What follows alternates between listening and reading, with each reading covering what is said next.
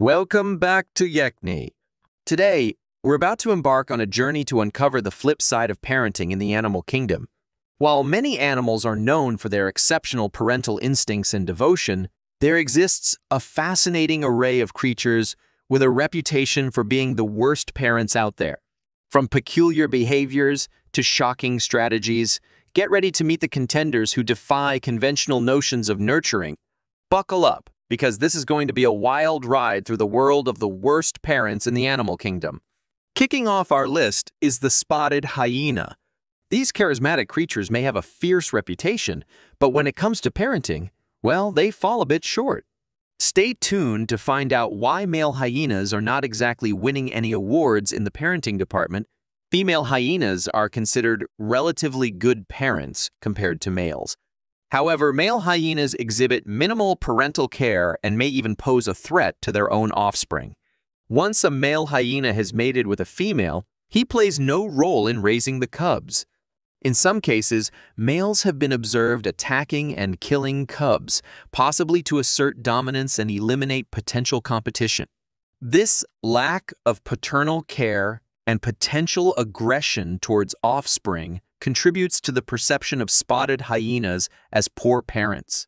Hold on tight because we're about to delve into the world of creepy crawlies. Our next contender is the redback spider.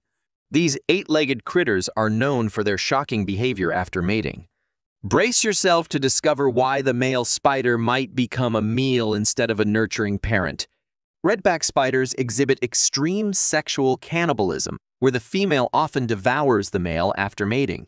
After laying the eggs, the female shows no further parental care. In fact, the female redback spider may even prey on her own spiderlings if she encounters them. This lack of maternal care and the potential harm posed by the mother towards her offspring are factors contributing to their reputation as poor parents. Prepare to dive deep into the ocean as we explore the mysterious world of the octopus. These intelligent creatures have an astonishing ability to camouflage and solve complex puzzles. But when it comes to parental care, well, let's just say they have a unique approach. Most octopus species have limited or no parental care. Females lay thousands of eggs and attach them to surfaces, providing some protection against predators. However, once the eggs hatch, the newborns are left entirely to their own devices. Octopuses have short lifespans and parental investment in offspring survival is minimal. The absence of any parental guidance or protection during the vulnerable early stages of life has led to the perception of octopuses as lacking in parental care. Get ready to spread your wings as we dive into the world of storks, the unexpected contenders for the title of worst parents in the animal kingdom. Prepare to be shocked as we unravel the secrets behind their parenting behaviors. Let's soar into the wild world of storks. Our journey begins amidst the sprawling nesting grounds of storks, these majestic birds are often associated with bringing bundles of joy, but don't let their reputation fool you. As we delve deeper, we'll discover why storks are considered among the worst parents out there. One aspect that sets storks apart is their lack of nest-building skills. While other bird species meticulously construct intricate nests, storks opt for a rather careless approach. They simply find a sturdy treetop or even a power line and there they lay their eggs. It's almost as if they believe any spot will do without considering the safety and protection their offspring require. When it comes to parental care, storks don't exactly win any awards. Both the male and female storks share the responsibility, but their efforts can be underwhelming. They provide minimal food and protection for their young, often leaving them vulnerable to predators and the elements. It's as if storks have adopted a hands-off approach, leaving their offspring to fend for themselves at a tender age. In stork families, it's a competition for survival, right from the start.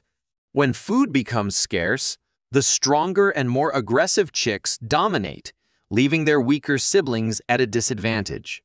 It's a ruthless battle for resources, and the unfortunate truth is that not all stork chicks make it to adulthood. But perhaps the most shocking aspect of stork parenting is their tendency to abandon their offspring. Yes, you heard it right! If conditions become unfavorable or food becomes scarce, storks may choose to desert their nest and their young. This abandonment leaves the helpless chicks to face an uncertain fate, solely relying on their own instincts to survive. Before we proceed further, I want to let you know that we appreciate your presence today. If you found this video informative, kindly give it a thumbs up and hit the subscribe button to stay updated on more valuable content. Moreover, it would be great if you could share your personal experiences and insights in the comments section. Together, let's establish a supportive community where we can all acquire knowledge and develop together.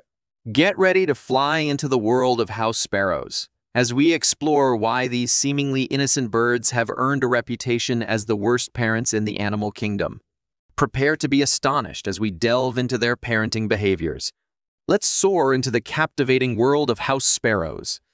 Our journey begins amidst the hustle and bustle of house sparrow nesting sites. These common urban birds have found a home among us, but their parenting skills might leave you astounded.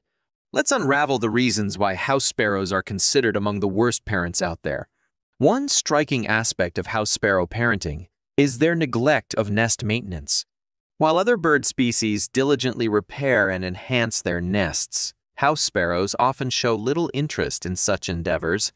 Their nests can become crowded, unsanitary, and even infested with parasites, endangering the health and well-being of their young. When it comes to providing food for their offspring, house sparrows fall short of expectations.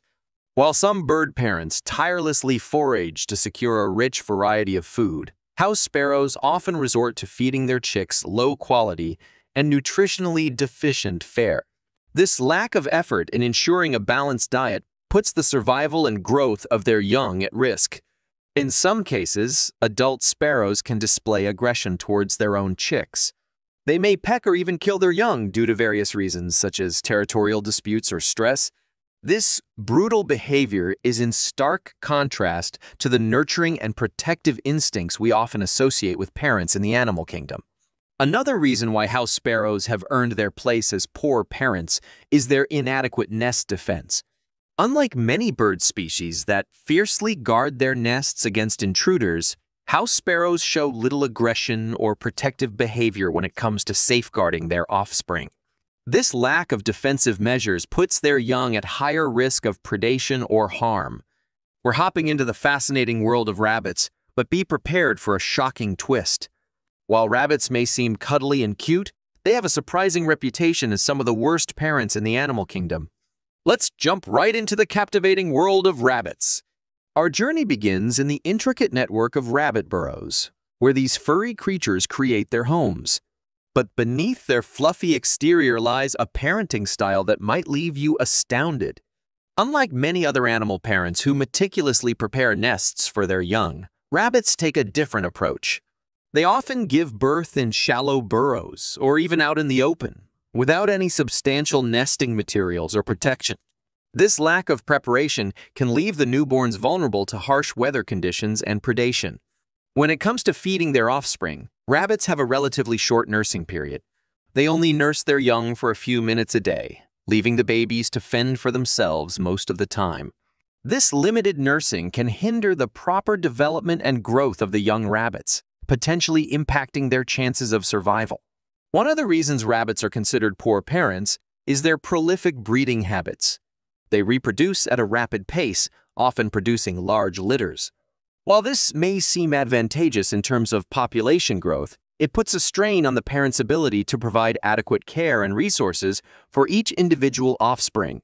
This overpopulation can lead to competition for limited resources and increase the risk of neglect.